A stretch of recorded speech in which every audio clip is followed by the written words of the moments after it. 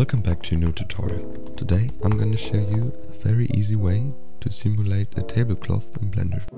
So you've got your table in your scene and now you want to put the tablecloth on there. To do that, add a plane, scale it just a little bit bigger than your table, maybe like that, and then go to edit mode and then subdivide your plane.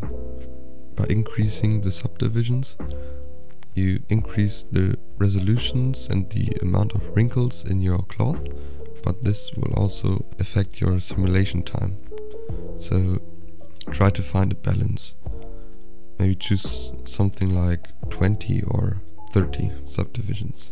Then go into object mode and move your plane just slightly above your table. Then make sure to press Ctrl A and apply rotation and scale. Select your table and go to the physics properties and add in a collision. Under soft body and cloth, lower the outer thickness to something like 0.004. Then select your plane and add cloth physics to it.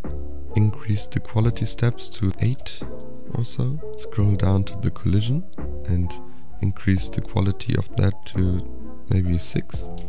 Hit self collision and lower the distance to 0.05 so that the tablecloth doesn't clip into itself. So to start simulating you could just hit play and the simulation will start.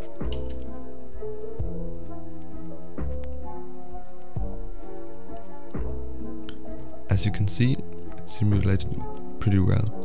If you're having some problems and your simulation doesn't really look great when it's falling on your table and reacting weirdly with it, you may want to create a cylinder which has the shape of your tabletop but just in a way simpler form.